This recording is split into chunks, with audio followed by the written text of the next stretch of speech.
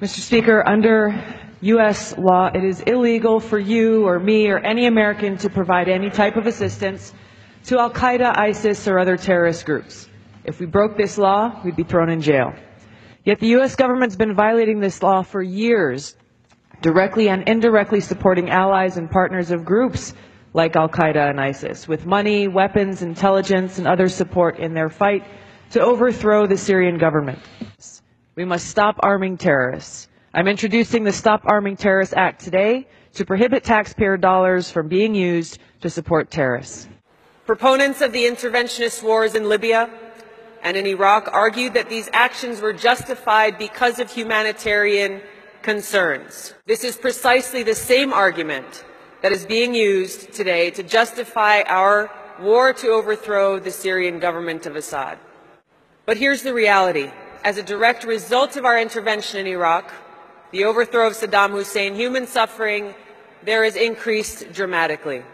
ISIS therefore gained a stronghold in Iraq, kidnapping, terrorizing, raping, and killing thousands and thousands of innocent people.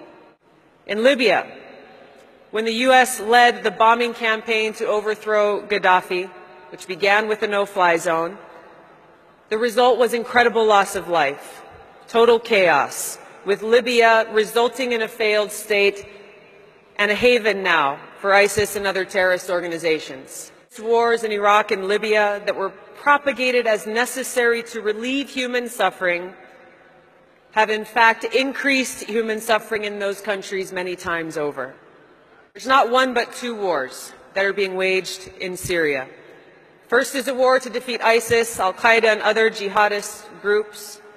This is a war against terrorists who've declared war on America, and it's a war that we must win. The second is the counterproductive war to overthrow the government of Assad, an illegal war that Congress has not authorized and which must end.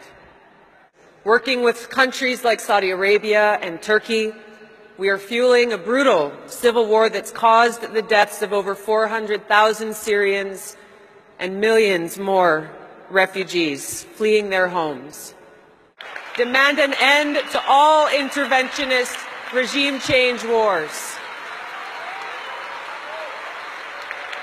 need to let leaders in Washington know that we must stop wasting our valuable, precious, limited resources on these regime change wars and instead focus those resources on investing and rebuilding and strengthening our communities right here at home.